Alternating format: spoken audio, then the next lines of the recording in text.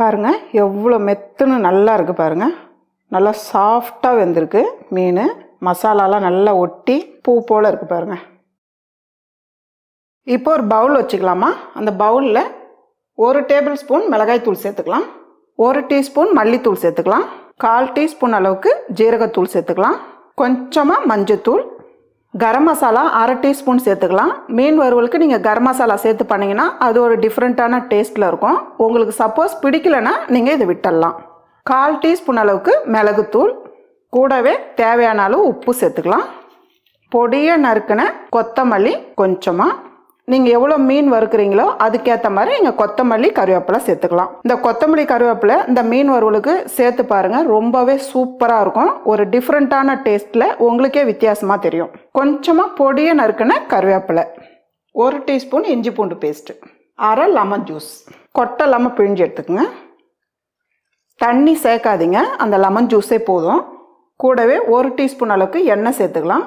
மசாலா வந்து மீனில் நல்லா ஒட்டும் எண்ணெய் சேர்த்து மிக்ஸ் பண்ணுமா. இப்போ இதெல்லாம் சேர்த்துட்டு நல்லா கலந்து விட்டுடலாமா? மசாலா நல்லா மிக்ஸ் பண்ணிவிடுங்க இந்த மீன் வறுவல் கொத்தமல்லி கருவேப்பிலை பொடியை நறுக்கி சேர்த்திங்கன்னா சாப்பிட்றதுக்கு ரொம்ப சூப்பராக இருக்கும். நல்ல டேஸ்ட்டாகவும் இருக்கும். டிஃப்ரெண்ட்டான டேஸ்ட்டில் இருக்கும். பேஸ்ட் இந்த அளவுக்கு நல்லா மிக்ஸ் பண்ணி எடுத்துக்கோங்க. இந்த டைமில் நீங்கள் உப்பு காரம் பார்த்துக்கலாம். நான் வந்து அரை கிலோ வஞ்சர் மீன் எடுத்து நல்லா சுத்தம் பண்ணி க்ளீன் பண்ணி வச்சுருக்கேன். நான் வந்து பெரிய சைஸ் மீன் எடுத்திருக்கேன். நீங்கள் பெரிய சைஸ் மீன் எடுத்தாலும் ரொம்ப நல்லாயிருக்கும் இல்லை சின்ன சைஸ் வேணாலும் எடுத்துக்கலாம். நம்மளோட விருப்பம் தான் இது. இப்போ நம்ம மசாலா எடுத்து மீனில் வந்து நல்லா அப்படியே தேய்ச்சி விட்டுருங்க. நம்ம எண்ணெய் சேர்த்து கலந்துக்கிறதுனால மீனில் வந்து நல்லா ஒட்டிக்கும் மசாலா. இதை போல் வந்து கருவேப்பிலை கொத்தமல்லி பொடியை நறுக்கி இதை போல் மசாலா ரெடி பண்ணி செஞ்சிங்கன்னா சாப்பிட்றதுக்கு ரொம்ப நல்லா இருக்குமா இப்படி தடவி விட்டுருங்க. இப்போ அப்படியே திருப்பிட்டு நல்லா ரெண்டு பக்கம் மசாலா நல்லா தேய்ச்சிட்டு சைடுலேயும் நல்லா தேய்ச்சிடுங்க. அவ்வளோதான் இது ஒரு பிளேட்டில் நம்ம வச்சிடலாம். இதே போல் மசாலா ரெடி பண்ணி வச்சுட்டு ஒரு பத்து நிமிஷம் அப்படியே ஊற விடுங்க. ஊறிச்சுன்னா மீன் வந்து ரொம்ப நல்லா இருக்கும். வறுத்து சாப்பிடும் போது நல்லா சாஃப்டாக இருக்கும். மீன் வறுக்கிறதுக்கு தவா வச்சுக்கலாம். தவா நல்லா சூடானதும் ஒரு ரெண்டு டீஸ்பூன் அளவுக்கு எண்ணெய் சேர்த்துக்கலாம்.